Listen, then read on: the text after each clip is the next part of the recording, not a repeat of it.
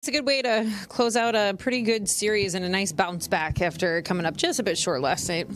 Yeah, it was a good way to finish the series. I think, you know, Sonny kind of came out from the get go and kind of set the tone and uh, just really threw the ball well. Didn't give up any free bases.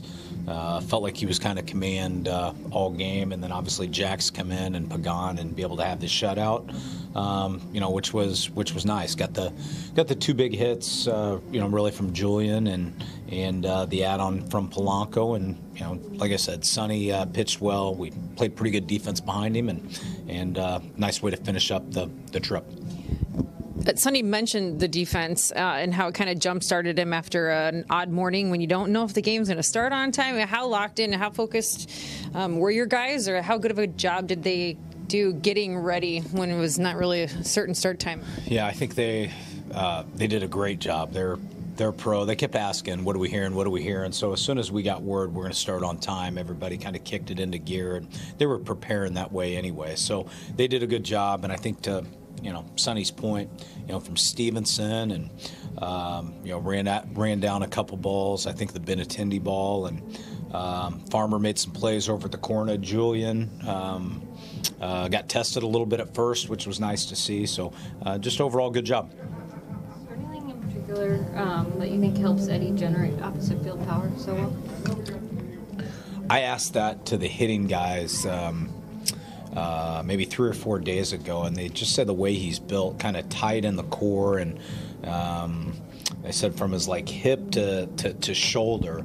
Uh, they said he when he turns, it just creates a ton of power. That's why you see a big majority of the balls he hit kind of center left center that um, you know kind of big opposite field power, and that seems to be kind of his sweet spot. When you're that close to the postseason, it's got to feel good to see one of your starters go that long. Yeah, it's you know I feel like Sonny's been doing it you know really all year. Him and Pablo have been going back and forth. I think you know both guys are certainly worthy of uh, certainly worthy of Cy Young talk, and uh, they've just been outstanding. And you know Sonny uh, continued it again today. To say something about Sonny too, that you know a couple base runners on, and then Jiménez and Andrew Vaughn. I think he faced them both times and able to get both. of them. They weren't only runners on. I felt like leadoff doubles or you know guys at second with no outs, and uh, he finds a way to just slow it down, make pitches, and navigate uh, his, his way through it. So um, it's really great to, to, to have on your side. How about just the job the bullpen did today and the way you guys have done with the bullpen like the past couple of weeks? Yeah, um, obviously Jax and Pagan today. Uh, we've been using the guys quite a bit, and some of them are getting some new roles. You know, Varland uh, getting back there. Duran hadn't pitched a lot really. Um, you know, in the last week or so, Thielbar has been outstanding. So I think the one thing it does for us, you know, Sonny goes seven innings. You only use two guys, and uh, we feel we should be fairly fresh for the most part going into Cincinnati.